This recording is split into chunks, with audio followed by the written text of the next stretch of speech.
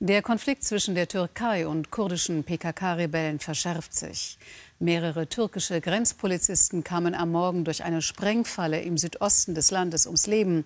Daraufhin griff die türkische Armee PKK-Ziele im Nordirak an. Dort haben sich die Kämpfer, die nach einem unabhängigen Staat streben, zurückgezogen. Die Polizisten waren heute früh unterwegs zur armenischen Grenze, als ihr Fahrzeug von dem Sprengsatz erfasst wurde.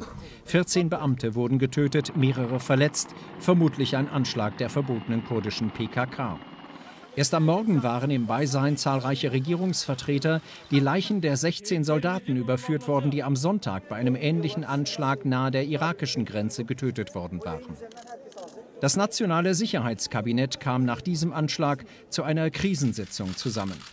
Dabei machten Präsident Erdogan und seine Regierung deutlich, dass sie eine militärische Lösung des seit 30 Jahren andauernden Konflikts anstreben.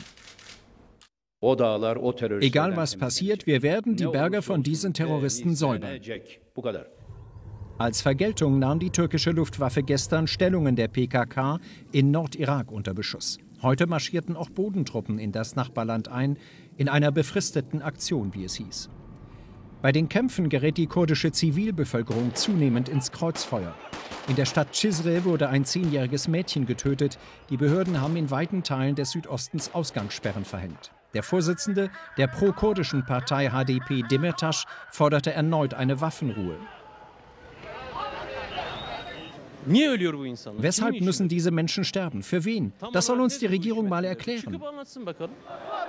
Die Spannungen nehmen überall im Land zu. Bei antikurdischen Ausschreitungen zerstörten türkische Nationalisten bereits mehrere Dutzend Büros der HDP.